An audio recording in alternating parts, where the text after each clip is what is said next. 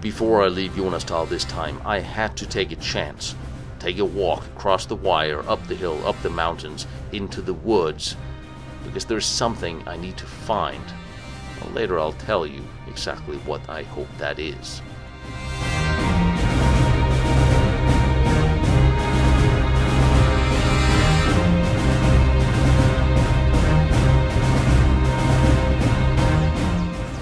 I can't get there from this direction, so I'm going to go back to the forest, mountains, and tunnels and try going over. The remains of the compressor station where you'd where they would have all the compressors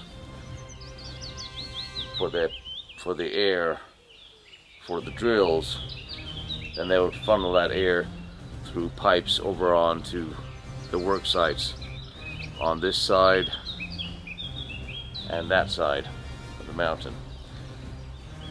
Of course, the compressors are long gone, sitting in Russia somewhere.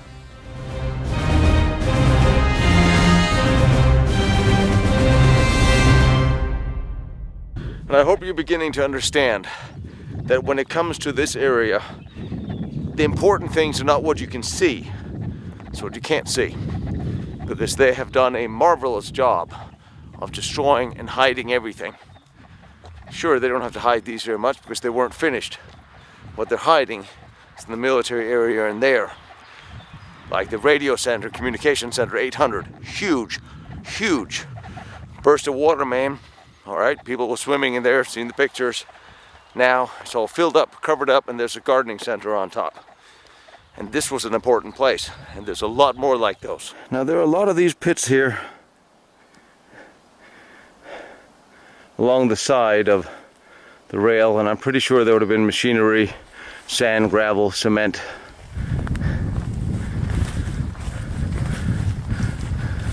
And when this was exploded, blown up, is probably one of the pieces that came from up here.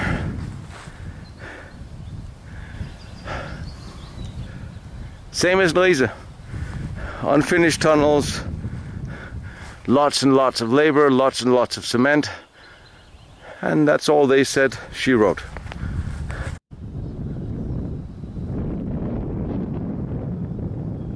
Now, there's a lot of reasons I wanted you to come with me and I wanted to show you this place because there's so many things that doesn't make sense. You have the, all the tunnels down there.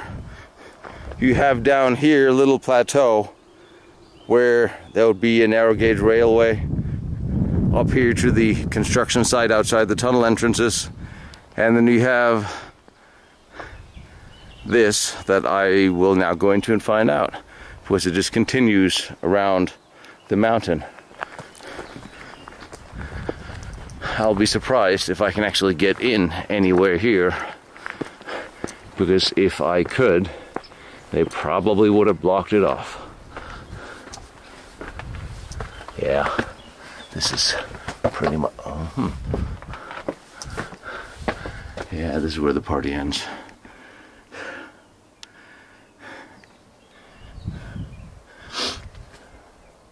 I don't know if this was a collapsed tunnel.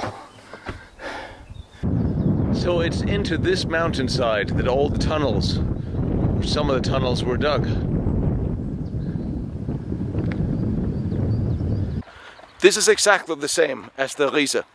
Riese project, 28,000 workers, hundreds of thousands of tons of cement with a few half-finished hallways. A lot of stuff missing. And these tunnels are not even remotely as finished and prepared as the Riese tunnels. You, you've, you've seen us inside them. Granted, the tunnels we were in were relatively small, and there are some that are more built up and a little bit more elaborate, but not by much not even by half of the Riese standards. So if you look at 26,000 people that was working here, not to mention, in addition to that, you had all the skilled workers and laborers. See these, see the plateau here? Wide enough for a couple of train tracks. Large hole, I don't understand.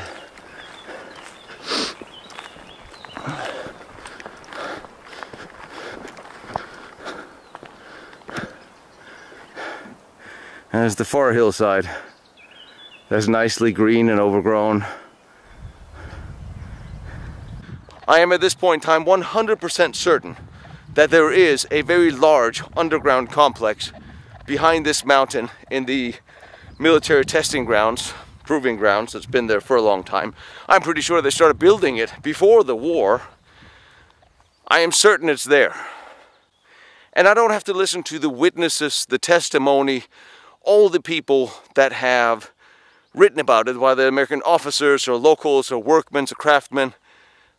I don't have to listen to them. I just have to look at the labor and the result of what we can see. You know there's more to this. Here, coming from in here. There's not. This is background radiation.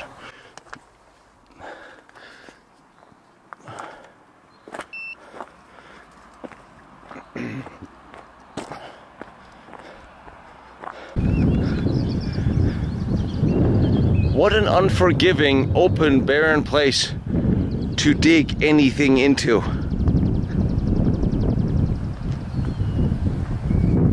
And there's still remnants.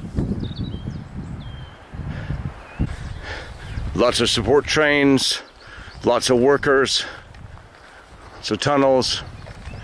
There's no doubt about that.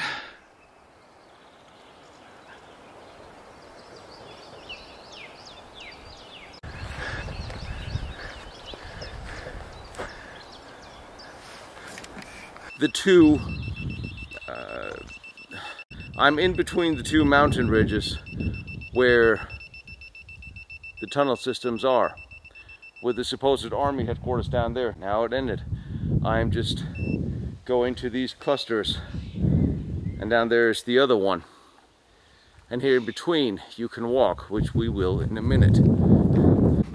When you then throw into the mix the nuclear aspect, the nuclear testing, Diebner's lab not far from here, and then the very, very active covering up that is taking place today.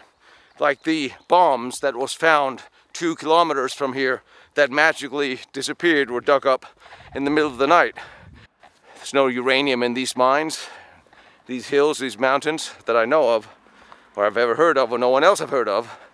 So we have unfinished tunnels 26,000 laborers, uranium, radiation, nuclear testing, lots and lots of secrets, and an active cover-up by the government today.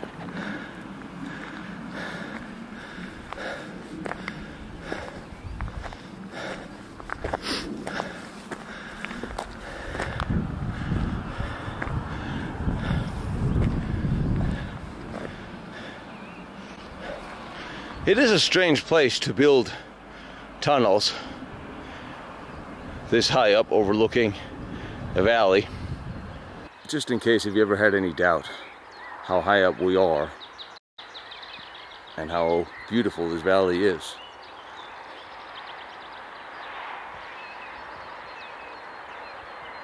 And I'm not even going to talk about how climbing this mountainside was. There's a reason why you didn't get it on camera. I'm going on the other side. And I'm thinking it's going to be a bit of a walk. Underneath me are the tunnels. And this looks like a man-made dugout. There was two rings of security surrounding this construction site, which is interesting since it was not near complete enough as far as we can tell for anything to have moved in here. Here ahead of me is the valley where Diebner uh, supposedly tested some of his tactical nuclear weapons. And it is deep within military territory. But I'll see how close I can get just to get an idea. The whole valley is in a bowl so it would be shielded, secure. The villages are all around here. But for a small tactical nuclear weapon or device, to have been tested is entirely plausible because they were fully well aware of the ramifications of radiation. Certainly they knew. And they took the precautions of testing these in a valley which makes perfect sense. Now it's just about finding the right direction.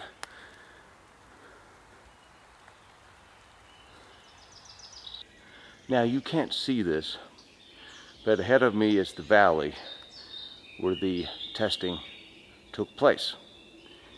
And it's impossible to get there undetected. But this is the hillside and straight through in, in, a line in a line from where I'm standing you will get to the castle where Clara Claraverna saw the detonation. There's a fishbowl here and I'm on one of the hillsides. And I'll turn on the Geiger counter see if it says anything. But let's see if I can find any old tree stumps or something I can measure it against. You would think being in a fishbowl the radiation would be caught by the walls. However it has also been mentioned numerous times how much the German military have cleared off topsoil and everything else from here so and I'm about three kilometers away from the detonation site so I get nothing here which I sort of didn't expect and through the trees there you can see the valley. We'll go to the castle, see it from the other side. But certainly, given the elevation of the castle, she would have seen it from where she was. And as you can tell, I have square kilometer after square kilometer of secure area, testing area, now current military, then military, unless I have a specific coordinate it's impossible to find anything up here. I was looking for radiation and a view. The trees have gotten in the way of the view, at least from here. I will say there's one thing that's a little strange about this entire area. It is the GPS is constantly giving different directions. My direction uh, is, is constantly spinning and I am definitely not walking in the direction it's telling me. My compass says something different the compass is giving me a proper reading. But the GPS has lost me ever since I got here, which is why it's very hard to find the coordinate I was looking for because it keeps spinning me around. I'm sure both we and the Germans have technology that'll confuse satellite navigation. This certainly is doing it. But if you see this, I made my way out. It's a little bit, I guess you get the feeling when you get just about close enough to Area 51, but in there, in that valley, is where they supposedly tested a tactical nuclear weapon, plutonium, otherwise.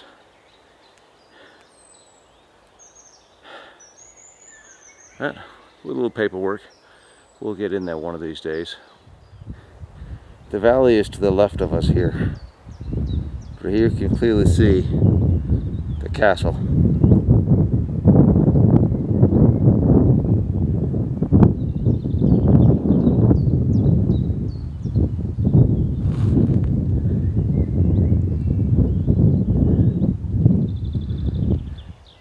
To the left of here is the testing site beyond that hill.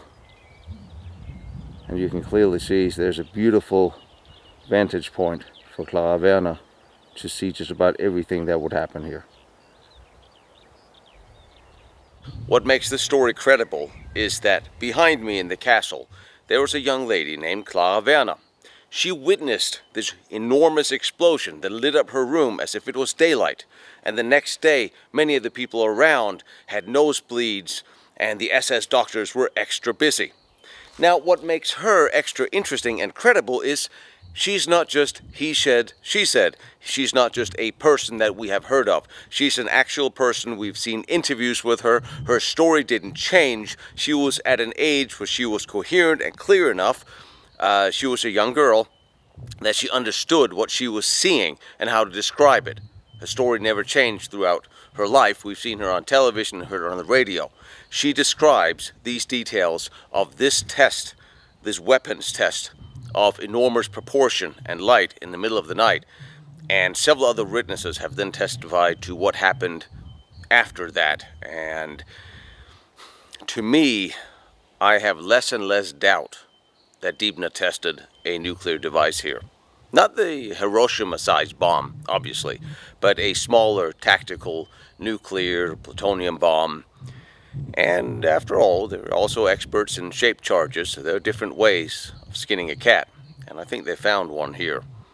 And I think some of this technology made its way to America. And from what I'm hearing, it made its way to America before we tested our nuclear device, which leaves us to think maybe that's one of the reasons nobody wants to talk about what happened here, because maybe this technology made it to America before we had ours ready. And that opens up a whole another can of worms. So, what do we really have here in Thüringen? Well, a lot of German World War II weapons industry, Luftwaffe factories, and huge underground communication centers. An unknown amount of underground installations, and a huge amount of known underground installations and factories, even an ME 262 plant 40 kilometers away from here. Diebner's test reactor 10 kilometers away from the testing site across from the hills here. And the most fun part of it all the officer who told Clara Werner about the test, told her to go to the tower that night. Well, he worked for the German Postal Service. Remember them? They had their own nuclear program. Von Ardenne worked for the Russians after the war and developed their nuclear bomb. The Russian scientists confirmed the validity of the German wartime bomb designs also. And of course, we had SS General Kammler in charge of it all and his chief designer Fiebinger who, after the war, consulted the U.S. Army engineers in the U.S. on how to build underground missile launch pads. Oh well. And of course, we have loads of eyewitnesses who testified on the wounded after the bomb test. And furthermore, eyewitnesses who testified to delivering materials to completed tunnel systems throughout the war. Now, what completed tunnel systems are they exactly? Because we still have to see them. And of course, the S3 project was in the center of it all. An area full of, well, what?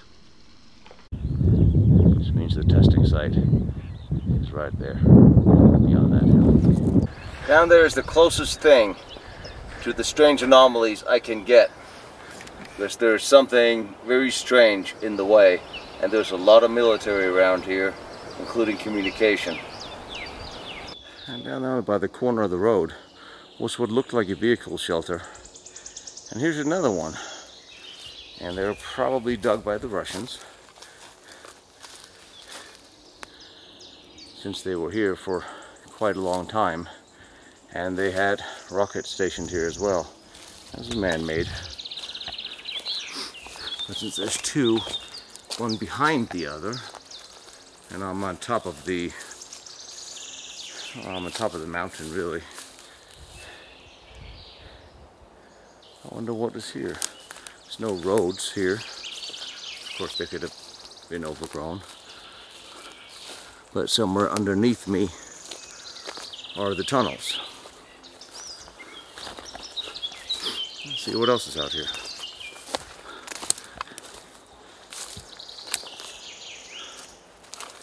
Now, for a minute, there's something weird about this yes, there's tons of signs by the military today saying you can't go here and live ammunition and don't pick it up.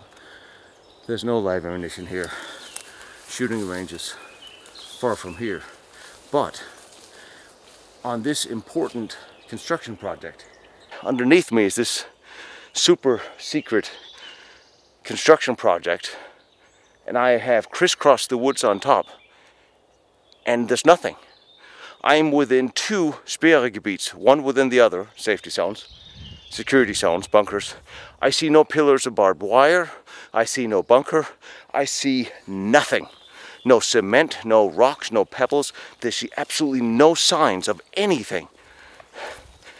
And this is where I say something this secure that had this many security zones. The absence of anything is strange. And as I said that, on top of this ridge I find rubble, stones piled down here. I mean, if this would have been a good observation post, that have of course been destroyed, made by slabs of rock dug out of the mine below. Makes sense? You build your fortifications on top with what you dig out of the mine.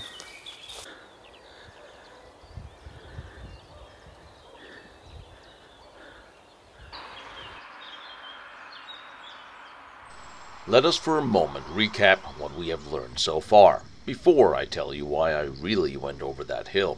It ties together, I promise. After the German 6th Army defeat in Stalingrad, it became more and more urgent to develop weapons of a much higher yield and of mass destruction, and to keep production locations safe from Allied bombing. And now the priority of the German nuclear weapons program moved up the list as well. And given the information I have seen to date, I am certain that German scientists and Army weapons technicians have tested a nuclear weapon during the time of World War II. Not the size of Hiroshima, but a nuclear weapon just the same. Something smaller, tactical, possibly a concept weapon that could then be enlarged and mass produced, as indicated by French wartime documents. And even Hitler himself have alluded to such a weapon in several conversations with his Allied leaders on the official record. And he was on several occasions briefed by General Kammler for hours to this effect, including a final long meeting just before the end. This meeting was mentioned by Dr. Goebbels, expressing hope that Kammler would be successful and turn the tide of the war. Also, documents in both Soviet and French archives mention this test in exceptional detail, as Stalin was briefed on it. Also, the Allied surveillance footage of the actual test site shows a large bomb test, and the many eyewitnesses' testimony all bear out the case that a device was tested in March 3, 1945, and possibly a larger test had already taken place in 1944 October, as witnessed by pilot Hans Zinsser. Sadly, as many of the locations key to this research, especially where the American Army showed up first, all the relevant documentation have disappeared, or the sites were and are actively being destroyed by German and Austrian authorities still to this day, or are classified or off limits such as here in Jonastal. In 1945, several things stood in the way of the deployment of such a weapon, however. Number one was the delivery method. Certainly the V-2 rocket had improved its accuracy throughout the war, but it really should be seen as a test bed for something bigger. Certainly the American space program post-war benefited from this technology. But at the time, von Braun had constructed the concept of the A9 rocket, a much larger and one that could reach America. And when we look at the facilities in Peenemünde, they were clearly built for a larger rocket system than that of the V2. But this new rocket needed to be built, and larger facilities were needed to be prepared and constructed for it. So it was either that method or a dumb bomb that could be delivered by a plane such as the Ju-380, which also needed to be built in mass. Germany lacked a long-range bomber, and only a few had been built by the war's end. There was, of course, the Condor, which could make it to America, but not with a significant bomb load. There was also another option, the lift body. It was nothing new to German research, and Eugene Sanger had been working on a concept for a lift body and even a ramjet since 1935. And in 1941, smaller scale testing for this propulsion was done on the Silbervogel lift body. It needed a two mile launching ramp powered by several V 2 rocket engines, but the design was actually sound, as many variations of it has flown since. But regardless of which delivery method was chosen, Kammler needed time to build them and the German army and air force also needed tanks, planes, bullets, rifles, and fuel to keep the millions of Russians from advancing from the east and the millions of Allies from landing in the west. So huge, secure underground facilities needed to be constructed in order to also produce the mainstream armaments needed to hold up the advance, especially of the Red Army. So hundreds of thousands of forced laborers were put to use and in record time constructed enormous underground facilities, both for the war production and for the special projects. Almost a thousand underground facilities were put in place by 1944 an amazing achievement at the time. But from the end of 1943, it was a desperate time for Germany. And in desperate times, one seeks desperate measures. And given what have so far been documented to have been produced in Germany during the war, it seems certain they had the technology and the nuclear material. Simply look at what the Russians found and took from Oranienburg six tons of metallic uranium, 300 tons of other nuclear materials. The Russian post war reactor was made based on German designs and materials entirely. Now imagine what the Americans found, given that a potential deal might have been made, or what Kammler had time to hide, if not. And before the Americans arrived at his reactor in Stadt Ilm, Kurt left with all the key materials. So where did that go? Still, even if Kammler lacked the delivery method at the time of the war's end, there was also the gamble of how to use a nuclear weapon on Moscow, London, New York. Neither would win the war, and it seemed that deploying a tactical nuclear weapon killing a few thousand soldiers when millions of them were advancing on you will just piss them all off, and their friends will not stop coming at you. On the contrary, they will come for vengeance. So that must have seemed like a bad tactical plan at the time also. But it must, however, have seemed clear to those in the know of the Third Reich that the other side of the technological coin was now to develop a nuclear weapon or technologies and use these as bargaining chips to keep ranking members from the gallows post war complementing Martin Bormann's decree as outlined in Strasbourg meeting with German industry in 1944, thus for them to preserve patents and assets outside of Germany, await the war's end, and then all focus should be made on further rebuilding of Germany in a new form. And afterwards, something one can honestly say this happened, and with much the same people and industries in charge. Now the key locations, such as Project Riese, the S3 here in Jonastal, Bergkristall tunnels in Linz, Dora Mittelbau, where the V2 rockets were produced, had a few things in common. There were significant Air Force, rocket, and jet production and nuclear research located close to each one of them, or in them. And of course, General Kammler was in charge of all of them, and naturally Fiebinger, his chief engineer, was there as well and today all of them are shrouded in mystery and lacking proper documentation as to what actually took place in them. Two of them were claimed to be headquarters for Hitler, although none of them looked in any which way like they would be built for that purpose. And they were built at a time where other more fitting locations were already complete and could easily have been converted for that purpose, places such as Amt 800 or the cement tunnels in Ebensee. The Bergkristall tunnels in Linz were full of high technology and producing jet planes, so not really suited to be shared with Hitler. And that and Project Riese might be considered too close to an advancing Russian army. But there's something more. The cement tunnels was one of the largest tunnel systems built, and they have practically been preserved today because they belong to a factory that have kept them safe from vandalism. I visited them and they give a clear indication of what was truly possible. And the size, they consist of miles and miles of tunnels that could easily have been converted for headquarters for Hitler. Sadly, a vast amount of the underground tunnel systems have since been practically wiped from the map, and there might be more, And when you add up how, at the war's end, documents and scientists, along with technology, disappeared into the hands of the Americans and Russians, and then the subsequent false cover up stories put out at that time, which have shaped historical perception ever since. So today, now that the last witnesses have mostly passed away, those few that actually survived in the first place, it is up to dedicated researchers and historians to honestly piece together the true picture of events.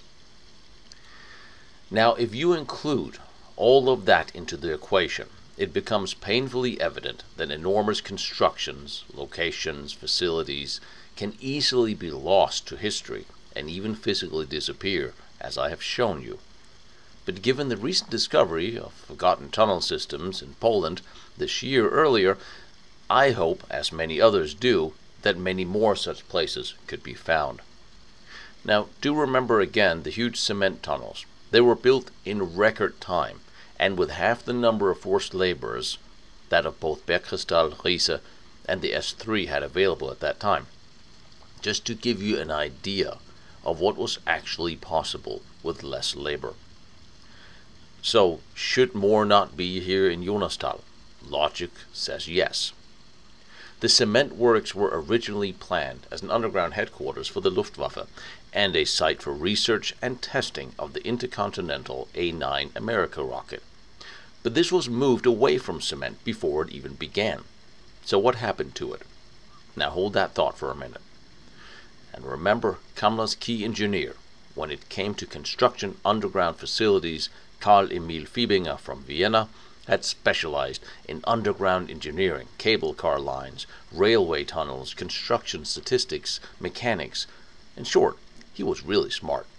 His firm carried out not only the architectural construction of these tunnels, but they also did the lighting, the water, the gas supply, even the railroad tracks they laid.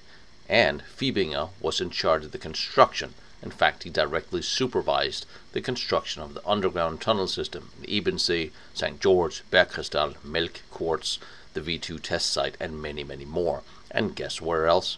Of course, right here in Jonastal.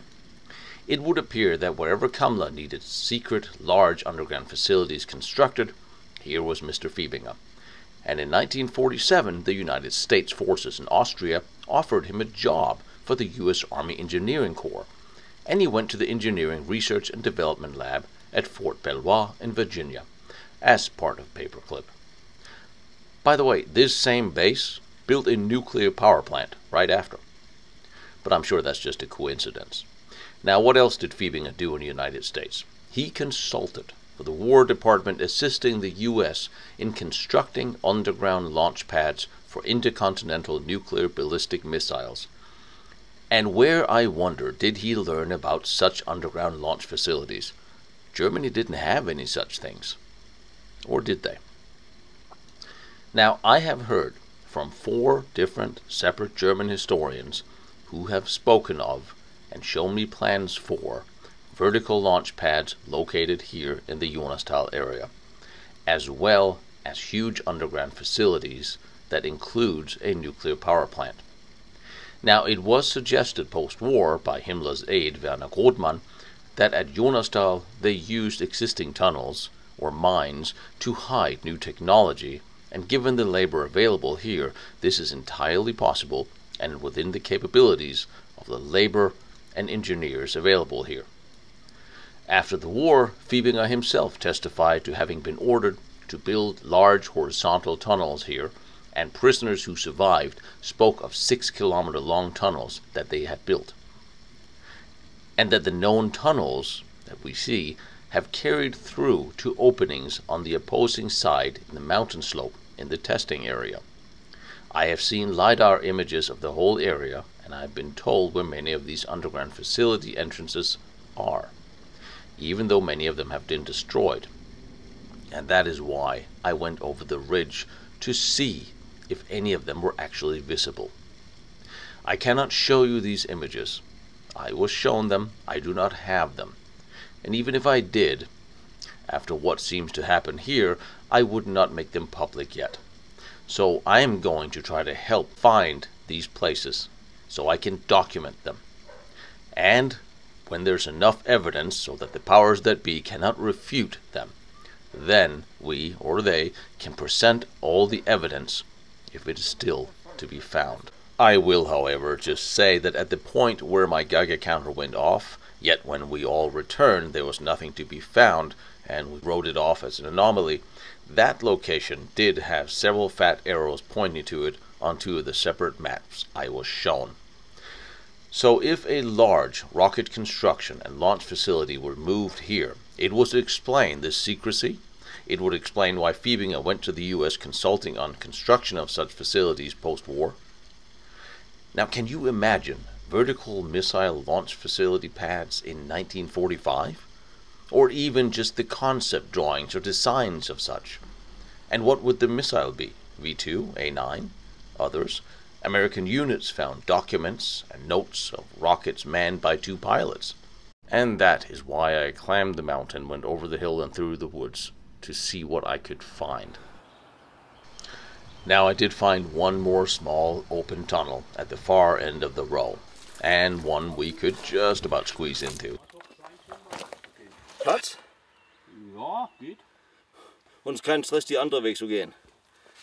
Warte mal, ich schaue jetzt mal ein bisschen runter.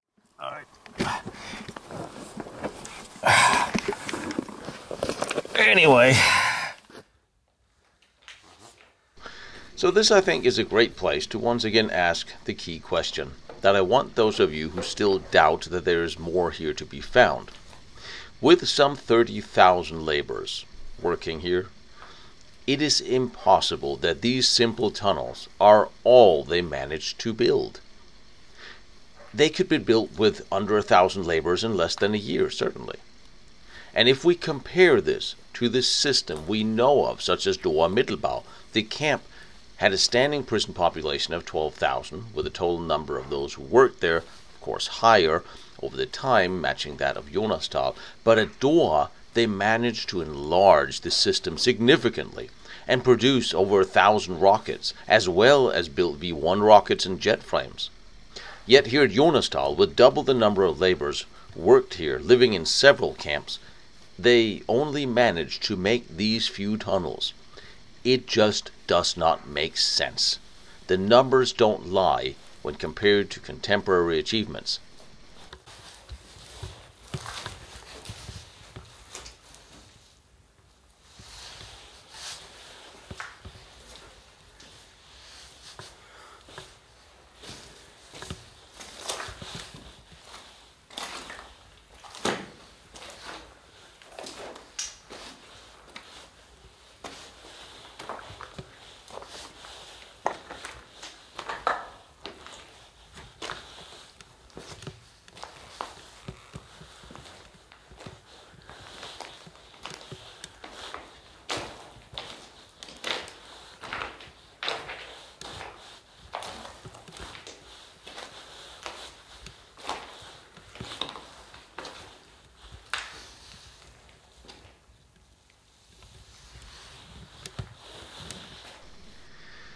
Now I know in Germany and Austria we don't like to talk about the war, and especially not what technology was developed during that time, despite its significance for future post-war.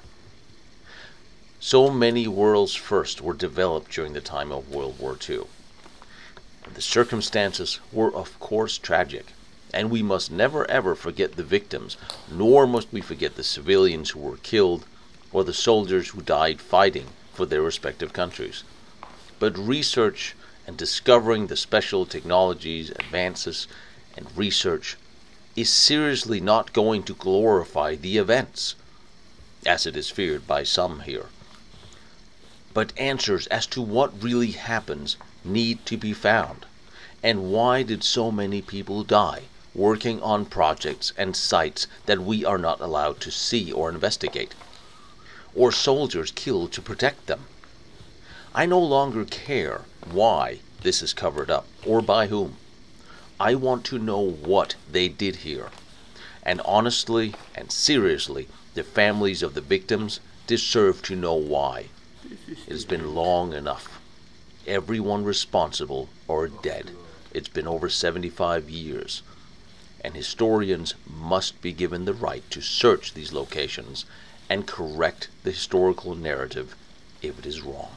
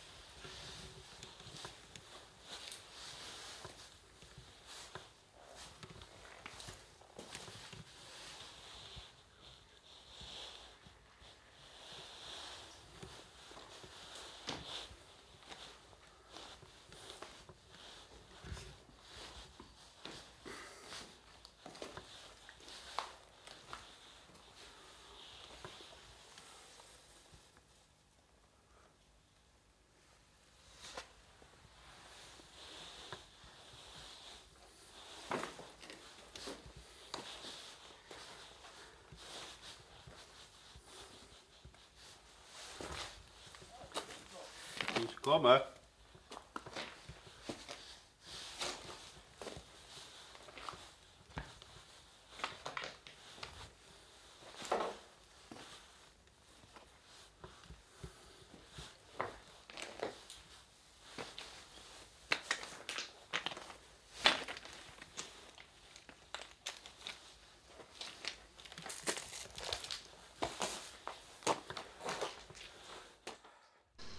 Now, last time we were here and inside the tunnels, we were speculating on why the walls were covered in soot, not really matching a regular explosion as would be expected just to collapse the tunnel entrances. Well, since then, I was at the nearby REIMAHG ME262 plant, the one where they flew the jets off the mountains. Well, the Russians eventually took that area and the tunnels, just like so many others here in Thuringia, and when they blew them up there, they used phosphorus, and the locals talked of how they burned for weeks. This lead me to believe that they did the same thing here. But by using a fiery burning chemical agent like that wouldn't really make much sense unless you really, really want to destroy all signs of, well, anything. Paint. paint. It huh? is paint. Yes. No, wait a minute. This could also be soot. Reminds me on the one movie. Wer hat die Frau Dunkelung befohlen? But what is this shit? Oh, wow, yeah, wow. Kind of like protection. Do you think this was deliberate? I guess we could take a piece and then. This is just weird. I mean, this is not what you usually see. uh, German wartime construction. It used to be really good and solid and This looks almost like a, a cheap fix. Or to figure out what's uh, already uh, fixed to come off and what's fresh. Do you know what else it is? It is a cheap and easy way to hide an entrance. Oh, If there's an entrance beyond one of these, It's not. No pickaxe. no, oh, Now I have filed an ungodly amount of FOIA requests, and we will see what comes out of the various archives from around the world. The next step after that is to start with the LiDAR and the digging and the asking for permission to do so. Maybe. It is now time to leave Jonastal for now, and we need to go take a look several other of the most important sites in the Kammler saga, and of those special and secret weapons testing sites. For that, I've gone to Calais to visit the V2 and V3 sites, because they are also not as straightforward as we have always been told. I've found some anomalies in these mainstream history sites that needs to be addressed. But even more important, I followed Kammler and his men in their own footsteps towards the end of the war, after his meeting with Hitler. After Kammler ordered the Peenemünde scientists surrender to the Americans, he did not wait for the Americans as well. He traveled east, just like the president of the Skodawerken, the biggest weapons factory in Europe, and Kammler's partner, Wilhelm Voss. They both headed east towards Prague, just as the Russians were nearing the city. Why would these two wanted men take such a risk? That leads me to Czechoslovakia and the special research locations Kammler had there, as well as the sites for a special independent Kammlerstab, and all within driving distance of Project Riese and Linz in Austria, and the locations of the war's most advanced and important research and underground factory in the Bergkristall tunnels, a place the Americans took yet ended almost fighting the Russians over. But Kammler went past Linz. He went to Prague. At a time when the Russians were surrounding the city, the residents rose and fought with German forces. He and Voss took that risk, and Kammler disappeared after meeting with American forces in Pilsen shortly after. Kammler met with Emil Klein near Prague. Klein was the head of the SS Pioneer School outside the city, and after their meeting, Klein hid something, some of which was later found during the first secret mission of the Cold War, one that almost started a new war between the former Allies. But Klein had more, and I followed his escape route that he and his SS men took out of Czechoslovakia. I will show you some of these sites and places and the hiding place used by Klein in 1945 and tell his story. We need to begin to take a look at what companies such as Siemens and ING were actually doing. And I actually did find something really interesting and rather sinister involving them. And what other universities were involved in wartime research? The University of Graz in Vienna, universities with link to the military, just like the Kaiser Wilhelm Institute, Karl Diebner and his research in Gottow. Other universities set up researches in tunnels in Austria, Germany, and those we have found and crawled through, leading to many more new questions. Now remember, we've only just begun this journey, and there is so much more you need to see before we can actually conclude anything.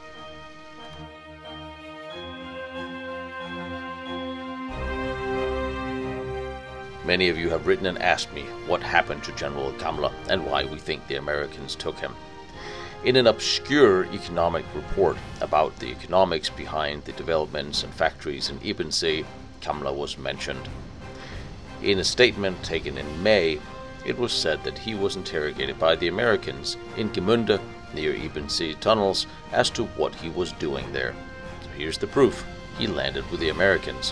What happened to him after, we're still trying to find out. Behind me is Wernher von Braun's first test stand. Down the road is Diebner's nuclear reactor. Over there is the Maginot Line and all its amazing forts. I'm visiting them all and I'm bringing them to you. So I really appreciate you like, follow, and share what I'm doing, trying to document all these important historical locations.